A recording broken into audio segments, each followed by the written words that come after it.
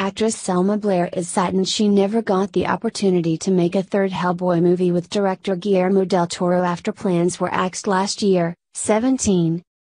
The Shape of Water filmmaker had been eager to reteam with franchise star Ron Perlman and Selma for years to create a darker follow up to their 2004 original and its 2008 sequel, Hellboy 2, The Golden Army, but talks with studio heads fell through last year, 17.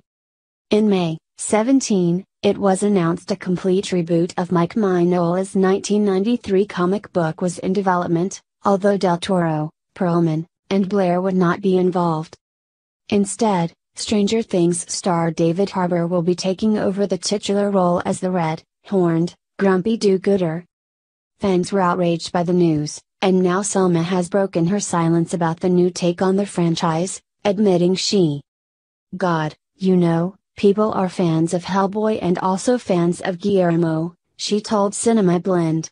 So part of us, the ones that were so loyal to Guillermo, our hearts are broken that it didn't work out with the greatest third installment ever written that I wish I could play more than anything in the world.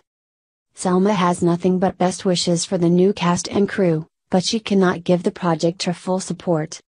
She added, I truly hope that Mike Mignola has his vision out there for the darker Hellboy come to light, and I'm sure he will, and David Harbour is excellent and everyone involved, but. My heart is broken. The new Hellboy, directed by Neil Marshall, will also star Ian McShane, Milla Jovovich, and Daniel Dae Kim, who replaced Ed Skrein in the role of Asian American Major Ben Daimio after a whitewashing outcry from fans. The revamped movie is set for release later this year, 18.